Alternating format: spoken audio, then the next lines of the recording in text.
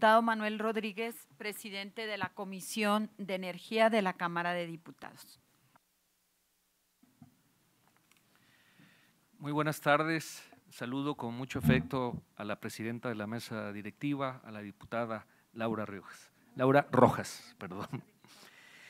Eh, agradezco la invitación a este foro de Parlamento abierto a la diputada presidenta de la Comisión de Hacienda, Patricia Terrazas Vaca, quien muy amablemente me invitó y estuvo muy al pendiente de que yo pudiera estar presente aquí.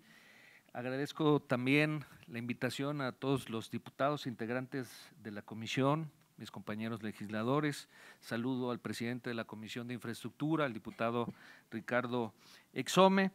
Y el tema en concreto del que me gustaría hablar es sobre el análisis del régimen fiscal de Pemex y la reforma a la ley de ingresos sobre hidrocarburos que fue presentada el pasado 8 de septiembre dentro del paquete económico.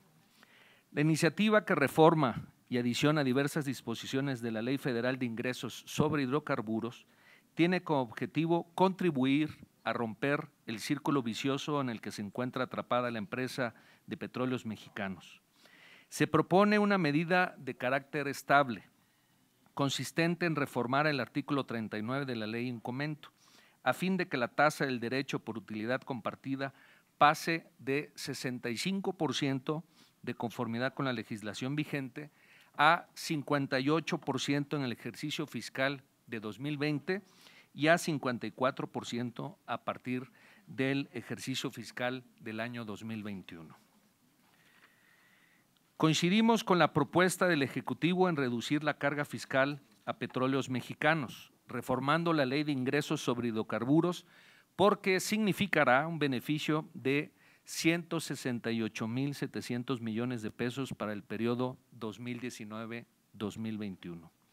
Aunado a anterior, se debe destacar que la empresa productiva del Estado, Pemex, publicó su plan de negocios 2019-2023 en el cual estableció que en materia energética la visión del Gobierno de México tiene como eje el fortalecimiento de petróleos mexicanos, principal empresa productiva del Estado, como motor del desarrollo económico del país y para recuperar la independencia energética y la soberanía del Estado. En línea con esta visión, el Gobierno de la República, a través de las Secretarías de Energía y Hacienda y Crédito Público y de Pemex, han ejecutado una serie de acciones enfocadas a reducir la carga fiscal de la empresa, a fortalecer su posición financiera y a definir los proyectos que serán la base para recuperar la capacidad productiva y con ello revertir el deterioro financiero. Es momento de apoyar a petróleos mexicanos con miras a que en los próximos tres años transite a su consolidación a partir de la recuperación sostenida de la producción del petróleo y sus derivados. Dicha medida servirá para sacarle el mayor provecho a las inversiones de Pemex para financiar el desarrollo y el crecimiento económico de nuestro país. Con esta modificación se liberarán recursos a la empresa para la inversión en exploración y extracción, lo cual le permitirá reponer sus reservas e impulsar su producción de petróleo. Asimismo, la aplicación gradual de la medida permitirá generar los espacios fiscales para mantener finanzas públicas sanas.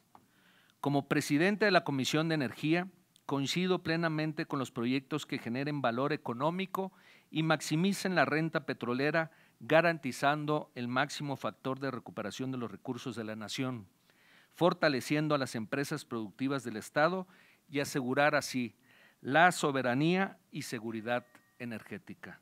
Es cuanto. Gracias, diputado Rodríguez. Bienvenido también al diputado.